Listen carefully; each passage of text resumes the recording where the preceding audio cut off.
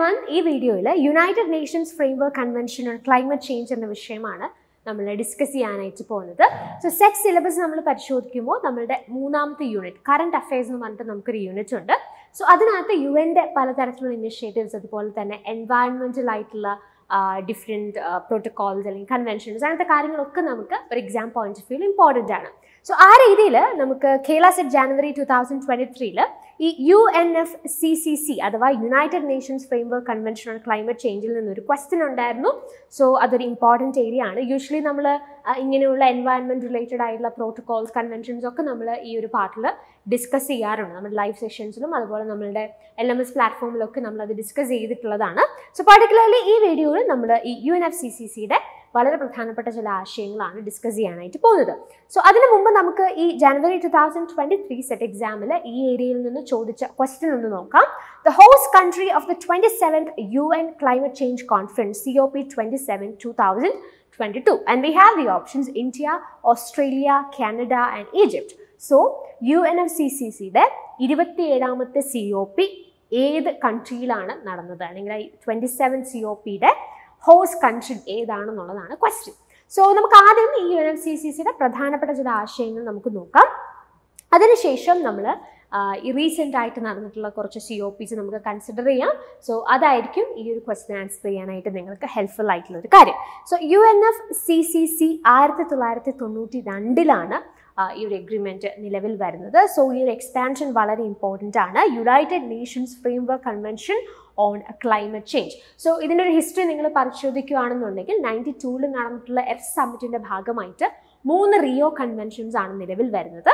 So അതിനകത്തെ ഒരു Rio convention അല്ലെങ്കിൽ അതിന്റെ ഭാഗമായിട്ട് വന്നിട്ടുള്ള ഒരു ഒരു പ്രധാനപ്പെട്ട ഇനിഷ്യേറ്റീവാണ് U N F C C C എന്നുള്ളത്. ഓക്കെ സോ ഈ ക്ലൈമറ്റ് എഗ്രിമെന്റ്സ് അല്ലെങ്കിൽ ക്ലൈമറ്റ് ചേഞ്ച് എന്ന വിഷയവുമായിട്ട് ബന്ധപ്പെട്ട് വന്നിട്ടുള്ള പല ഇനിഷ്യേറ്റീവ്സും നമ്മൾ പിന്നീട് ഹിസ്റ്ററി പരിശോധിക്കാൻ വന്നിട്ടുള്ള പല ഇനിഷ്യേറ്റീവ്സിന്റെ ഒരു ഫൗണ്ടേഷണൽ എഗ്രിമെന്റ്സ് എന്ന് പറയുന്ന U N F C C C ആണ് നമുക്ക് കാണാനായിട്ട് സാധിക്കും so the foundational climate agreement that has provided the platform for most subsequent international climate agreements is this particular U N F C C C so ഇതിന്റെ ഭാഗമായിട്ട്. അല്ലെങ്കിൽ ഇതാണ് പിന്നീട് വന്നിട്ടുള്ള പല ക്ലൈമറ്റ് റിലേറ്റഡ് ആയിട്ടുള്ള എഗ്രിമെന്റിനും ഒരു കാരണമായി തീർന്നത് നമുക്ക് പറയാനായിട്ട് സാധിക്കും. സോ എന്തൊക്കെ കാര്യങ്ങളാണ് വളരെ പ്രധാനപ്പെട്ട എന്തൊക്കെ ആശയങ്ങളാണ് U N F C C C കൃത്യമായിട്ട് അഡ്രസ്സ് ചെയ്യുന്നതെന്ന് വളരെ ഇമ്പോർട്ടന്റ് ആയിട്ട് നമുക്ക് മനസ്സിലാക്കാനായിട്ട് സാധിക്കുന്നതാണ്.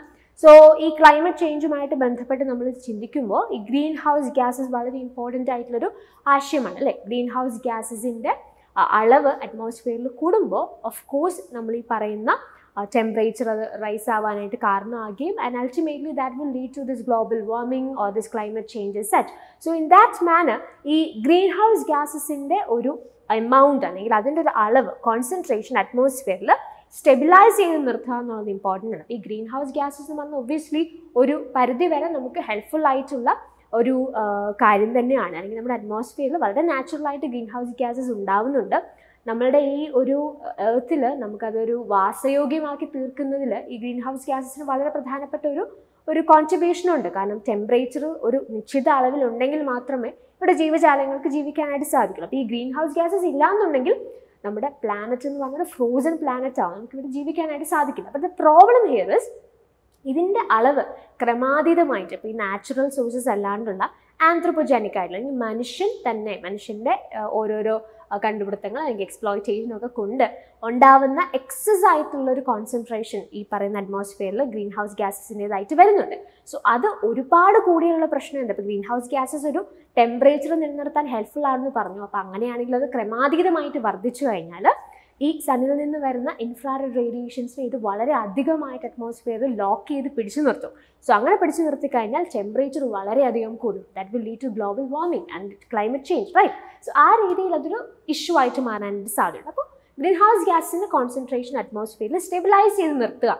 എസ്പെഷ്യലി ഇങ്ങനെയുള്ള ആന്ത്രപ്പോജനിക് ആയിട്ടുള്ള ഇന്റർഫറൻസസ് കൊണ്ടുണ്ടാവുന്ന ഗ്രീൻ ഹൗസ് ഗ്യാസസിന്റെ എമിഷനും അതിന്റെ ഒരു അൺകൺട്രോൾഡ് ആയിട്ടുള്ള കോൺസെൻട്രേഷനും സ്റ്റെബിലൈസ് ചെയ്യുക എന്നുള്ളതാണ് ഒരു ഉദ്ദേശം മറ്റൊരു പ്രധാനപ്പെട്ട ആശയം അവരവിടെ ഡിസ്കസ് ചെയ്തത് enabling the eco ecosystems to adapt naturally to climate change to ensure that food production is not threatened and enable economic development to proceed in a sustainable manner മറ്റൊരു പ്രധാനപ്പെട്ട കാര്യം എക്കോസിസ്റ്റത്തെ വളരെ നാച്ചുറലായിട്ട് ക്ലൈമറ്റ് ചേഞ്ചിനോട് അഡാപ്റ്റ് ചെയ്യുന്ന ഒരു രീതിയിലേക്ക് കൊണ്ടുവരാനായിട്ടുള്ള എന്തൊക്കെ മെഷേഴ്സ് എടുക്കാനായിട്ട് സാധിക്കും. പെട്ടെന്നുണ്ടാവുന്ന ക്ലൈമറ്റ് ചേഞ്ച് ഉറപ്പായിട്ടും നമ്മുടെ എക്കോസിസ്റ്റത്തെ വളരെയധികം ബാധിക്കും. ആൻഡ് അൾട്ടിമേറ്റ്ലി അത് റിസൾട്ട് ചെയ്യുന്ന എവിടെയാണ്? ഫുഡ് പ്രൊഡക്ഷനെയാണ് പെട്ടെന്നുണ്ടാകുന്ന മഴ അല്ലെങ്കിൽ പെട്ടെന്നുണ്ടാകുന്ന ഒരു ക്ഷാമമൊക്കെ വന്നു കഴിഞ്ഞാൽ ഒബ്വിയസ്ലി ഇവിടെയുള്ള നമ്മുടെ എക്കോസിസ്റ്റം അല്ലെങ്കിൽ നമ്മുടെ കൃഷി അങ്ങനത്തെ കാര്യങ്ങളൊക്കെ അത് ബാധിക്കും.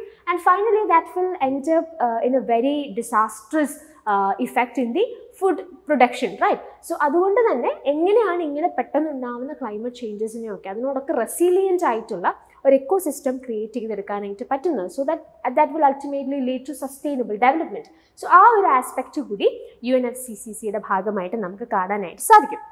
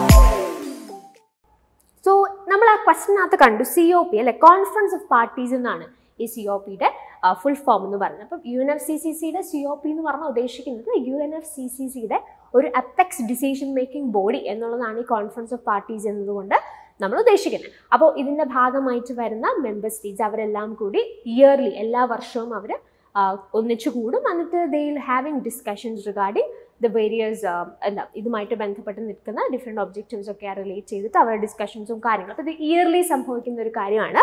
സോ അങ്ങനെ ആദ്യത്തെ U N F C C സിയുടെ ആദ്യത്തെ സി ഒ പി അല്ലെങ്കിൽ കോൺഫറൻസ് ഓഫ് പാർട്ടീസ് നടക്കുന്നത് ആയിരത്തി തൊള്ളായിരത്തി തൊണ്ണൂറ്റി അഞ്ചിലാണ് അപ്പോൾ U N F C C C നിലവിൽ വരുന്ന ആയിരത്തി തൊള്ളായിരത്തി തൊണ്ണൂറ്റി രണ്ടിലാണ് അവർ ആദ്യത്തെ സി ഒ പി നടക്കുന്നത് ആയിരത്തി തൊള്ളായിരത്തി തൊണ്ണൂറ്റി അഞ്ചിൽ ബെർലിനിൽ വെച്ചിട്ടാണ് C O P one conduct ചെയ്തത് സോ ഇത് വളരെ കണ്ടിന്യൂസ് ആയിട്ട് എല്ലാ വർഷവും നടക്കുന്നതാണ്. പക്ഷെ കോവിഡിന്റെ സിറ്റുവേഷൻസ് ഒക്കെ വന്നപ്പോൾ ചില വ്യത്യാസങ്ങൾ ഒരു വർഷം നടക്കാതെയൊക്കെ വന്ന സിറ്റുവേഷൻസ് ഉണ്ട്. പക്ഷെ കണ്ടിന്യൂസ് ആയിട്ട് അല്ലാത്ത പക്ഷം എല്ലാ ഇയറിലും ഇവരുടെ സി ഒ പീസ് നമുക്ക് കാണാനായിട്ട് സാധിക്കും. സോ നമുക്ക് ഇവിടെ പെർട്ടിക്കുലർലി വേണ്ട ആദ്യത്തെ സി ഒ പി എവിടെയാണെന്നുള്ളത് നമ്മൾ പറഞ്ഞു. വർഷം നമ്മൾ പറഞ്ഞിട്ടുണ്ട്.